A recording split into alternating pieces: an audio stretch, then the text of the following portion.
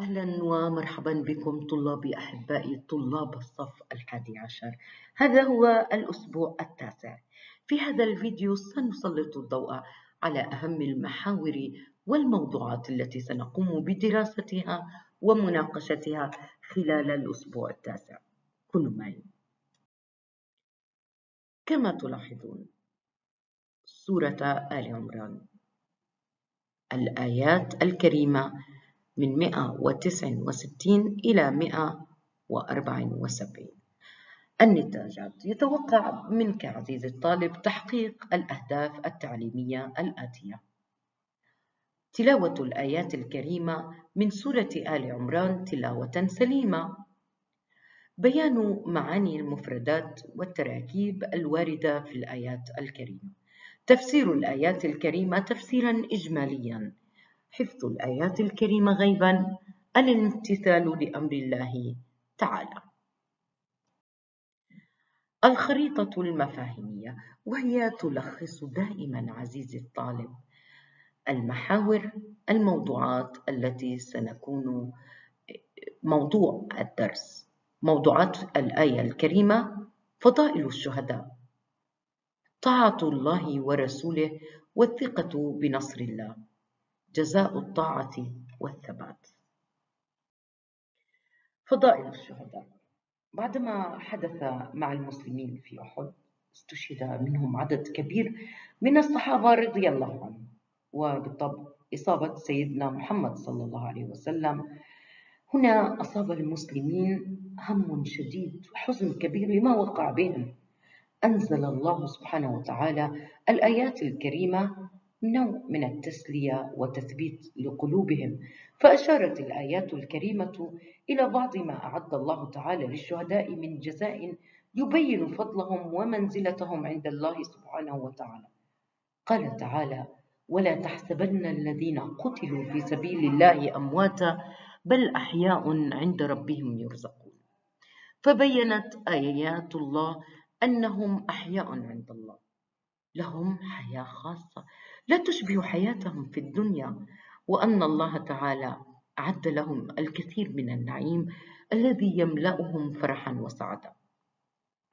قال تعالى فرحين بما آتاهم الله من فضله مطمئنين لعاقبة من سيلحق بهم من درب الشهادة. قال تعالى ويستبشرون بالذين لم يلحقوا بهم من خلفهم ألا خوف عليهم ولا هم يحزنون. هذه الآيات تخفيفا من حزن المسلمين وتوجيها لهم لسلوك طريق الشهادة دون خوف على ما عندهم من الأبناء والأزواج ودون حزن على ما تركوه من متاع الدنيا. فإن الله سبحانه وتعالى قد أعد لهم النعيم الدائم الذي لا يزول. والتعبير بقوله تعالى عند ربهم زيادة لتكريم هؤلاء الشهداء فهم في قرب الله تعالى وتقديمه على قوله يرزقون إشارة إلى جوار الله تعالى. هذا هو أعظم رزق. طاعة الله ورسوله والثقة بنصره. لما رجع المسلمون من أحد وصلهم خبر بأن المشركين يتجهزون لمهاجمة المدينة المنورة. أمر الرسول صلى الله عليه وسلم المسلمين بالخروج لمواجهتهم وملاقاتهم ليعلم المشركين بأن المسلمين ما زالوا أقوياء. فاستجاب المسلمون لرسول الله رغم ما بهم من الجراح.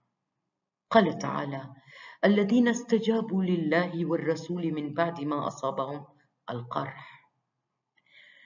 ولما وصل النبي صلى الله عليه وسلم حمراء الأسد هذه المنطقة تقع على بعد 12 كيلومترا جنوب المدينة المنورة أقام فيها ثلاثة أيام.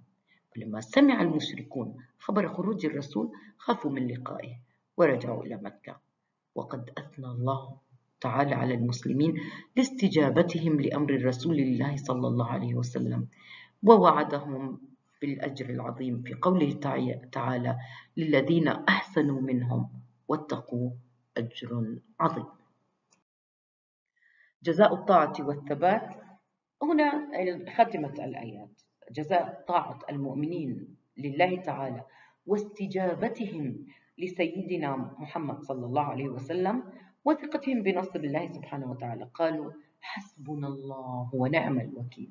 فألقى الله الرعب في قلوب المشركين وتركوا ما عزموا عليه من مهاجمة المسلمين وأكملوا طريقهم إلى مكة. ورجع المسلمون من حمراء الأسد إلى المدينة دون قتال لم يصبهم أذى. وعفى الله عنهم بسبب قيامهم بما يرضي الله من الأقوال والأفعال. هذا هو عرض سريع لما سنقوم بدراسته خلال الأسبوع التاسع. وأرى أن هذا الدرس لا يزال يرتبط بما يحدث الآن في بلدنا العزيز في غزة. ستبقى هذه الآيات هي آيات مواساة لكل خسارة بشرية يتعرض لها المسلمون. فكل ما نفقد نحن في سبيل الله هم أحياء عند ربهم يرزقون بجوار الله وبرعاية الله.